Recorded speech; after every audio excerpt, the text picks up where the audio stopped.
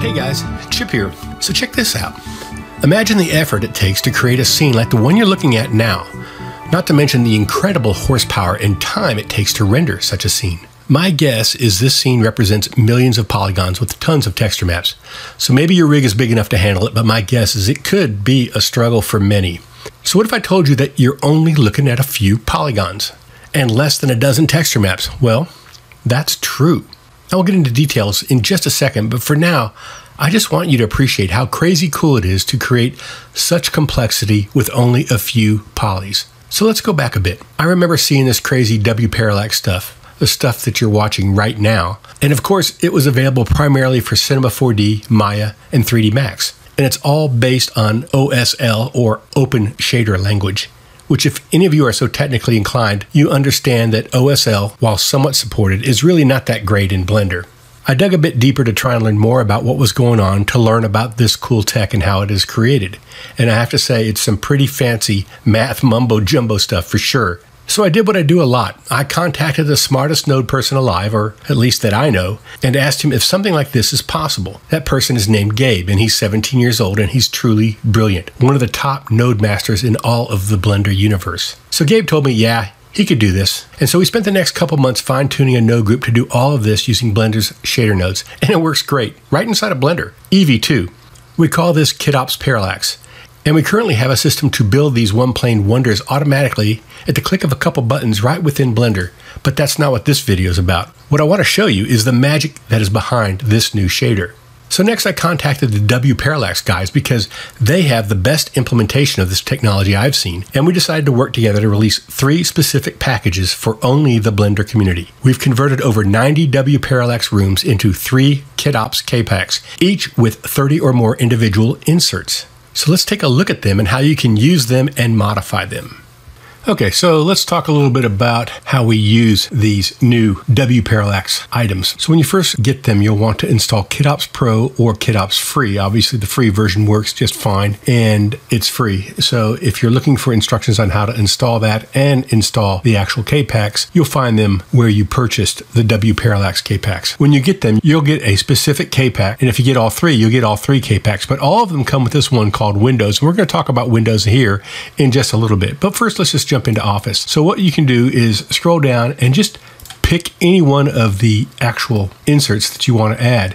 And as you can see, there's night and days versions for each one of them. So select the object that you want to add them to, and then hit Add Insert, and you can just drag them around and place them however you want. And once they're placed, you can see that they work just perfectly. Let's take this and let's scale it up a little bit more. Like that and we'll, we'll move it over here like so. So let's go ahead and add another one. So I'll just go in here and let's add, say, a big large one. We'll select our object and we'll add the insert. And you can see, that we'll just pop that right over here. And let's just add kind of a medium one. Like so. And we can move our object or our building around like that. So now you can see that what we have here are three planes. In fact, let's just go into wireframe view and you can see these are just individual planes. That's all they are. They just have this special parallax texture on them. Now I'm looking at them in Eevee right now, but I can also look at them in cycles and they look just great as well. So that's pretty cool. So the next thing I want to do is I want to go ahead and add a window surface on them. Now you don't have to do this, but you may want to. So the way that works is you'll just come into the actual Windows room right here. And I have them set for one by one, two by one, and three by one. And these are all set as one by one, two by one, and three by one. So I can just grab any of them. I'll grab the one by one and I can obviously place it on here. And uh, to do that, I'll have to remove the KitOps props for this object. If I have KitOps Pro, I can just turn on face snapping mode and just go add insert and pop it right on there. And it'll just it'll just work, right? And there we have it. So you can see there's a reflection jumping in there. Let's go ahead and scene world. You'll see it maybe it looks a little better. So I can select the 2x1 and with KitOps Pro, I can just say place on selected insert and add the insert and that works fine. If you don't have KitOps Pro, what you want to do is remove KitOps props and then you can basically select this object right here and then just go in and we're going to add the insert to that object. Let's say we choose something other than this one. We can say the one by one and we'll add the insert there and I'm going to put it here. You'll notice that we're not quite in the center yet. And so what I want to do is look at this object right here and just see what the what the dimensions are of that object or what the placement is. Like for instance, I know that the X is, is here. So I might just go ahead and control that, copy that, and then grab this and paste and set that. And then we'll go to the Z dimension, control C and select this and then paste. And then under KitOps, we'll just go in here and we hit these two buttons right here and it just moves everything, scales everything so it's right. So there you have it. So now we have windows in front of all of these. And these windows are pretty cool because they will actually work very nicely both in Eevee and in cycles. So let's go ahead and look at them in cycles. There we go.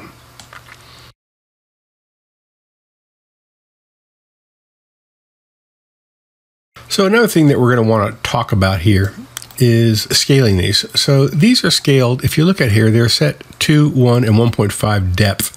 And this is 2 and 1. And I can actually hit the S button because I may find that this one needs to be scaled up a little bit to match the ones below it.